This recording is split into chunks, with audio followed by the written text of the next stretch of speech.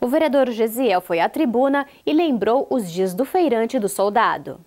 Líder do Partido Progressista, o vereador Gesiel Silva foi à tribuna nesta quarta-feira para lembrar o Dia do Feirante e do Soldado, ambos comemorados em 25 de agosto. O senhor sabe que o soldado do Exército, é, às vezes, eles, os senhores que presta um reverente serviço, trabalho para a nossa sociedade e mostrando a segurança. Ele ainda protocolou requerimentos pedindo aplauso pelas datas. Os documentos foram aprovados por unanimidade.